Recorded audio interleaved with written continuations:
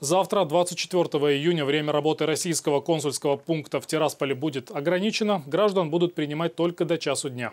Это связано с тем, что в России официальный выходной. Его приурочили к военному параду по случаю 75-летия Победы.